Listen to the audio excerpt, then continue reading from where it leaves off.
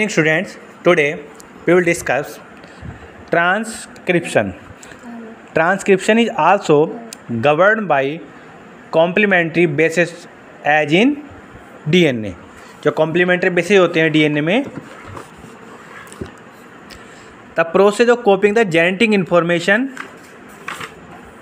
genetic information from the strand of DNA into the RNA is termed as transcription. is termed as transcription. The principle of complementarity governs the process of transcription, except the adenosine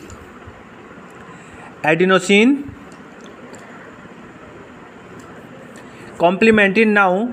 forms base pair uracil instead of thymine. Only one of the strand of D N act as a template for R N A synthesis जब D N A जो convert होता है हमारा ए में a transcription unit in D A has three regions पहला क्या होता है एक को कहते हैं हम promoter second structural genes and then final is terminator the process is by D N A dependent R N A polymerase, which catalyse the polymerisation of nucleotides only five to three direction देखो दो दो direction होती हैं three to five या five to three the D N A strand three to five polarity is called template strand by the other strand five to three polarity is called coding strand transcription in prokaryotes अब transcription जो होता है वो prokaryotes में होता कैसे है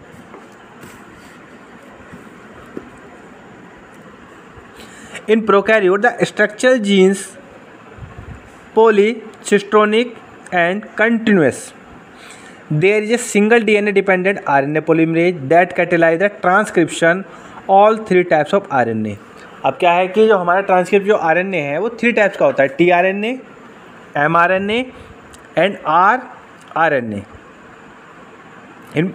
M R N synthesis does not require the processing to become active and both transcription and translation occurs in the same cytosol translation can start before the M R N is fully transcribed transcription and translation can be coupled दिखाया हुआ देखो ये three to five D N A helix five to three initiation है या elongation है A में convert हो रहा है यह है इसका इलोंगेशन ट्रांसक्रिप्शन इन अब ये बात थी यूकैरियोट्स की देन प्रोकैरियोट्स में in eukaryotes structural genes are monocistronic and split they have exon and introns there are at least three different R N A polymerase in the nucleus apart from the RNA polymerase in the organelles which function as follow RNA polymerase for transcribe rRNAs 26 ATs and 5.S RNA polymerase second transcribe the precursor of mRNA called heterogeneous nucleic RNA and HNRNA the primary transcript called hrna contain both exon and introns and in the subjected process called splicing of M R N A अब देखो जैसे दिखाया गया है diagram में five and three five exon intron and H N R N A capping है A T G C adenosine guanosine cytosine thymine and then poly A tail tailing poly transcription eukaryotes में अब बात आती है genetic code genetic code होते क्या है